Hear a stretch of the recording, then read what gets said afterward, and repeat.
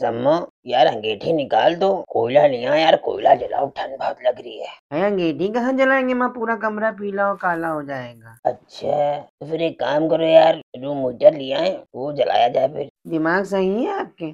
इतना बिल आएगा एक महीना ना बिल जमा करो तो लाइट काट देते हैं। बिटिया के फ़ोन में मैसेज आता है देख लीजिएगा। अरे कुछ नहीं बिल आएगा शफीक भाई के लाए तो हैं कुछ नहीं बिल आता है। हाँ तो वो कटिया मारते हैं। दसियों लाख थोड़ा बिल आ जाएगा। हीटर लगाओ तो बिल आए तो अपना पेट काट के बिल दो। है अगर कहीं ना जमा कर पाओ लाइट कट जाए तो पूरे मोहल्ले में बेइज्जती हो तो वो भी अपने सारे लो। जब अल्लाह ताला कोई चीज़ दिलाता है तो उसके खर्चे का इंतज़ाम भी करता है समझी? हीटर पीटर नहीं लगेगा पाला नहीं पड़ रहा है। अरे यार ठंड हो रही है। तो पहन के बैठिए ना कुछ ऐसे ही बैठे हुए। तो क्या घर में पहन के बैठे? तुम यार बात ही नहीं मानती हो हमारी। क्यों?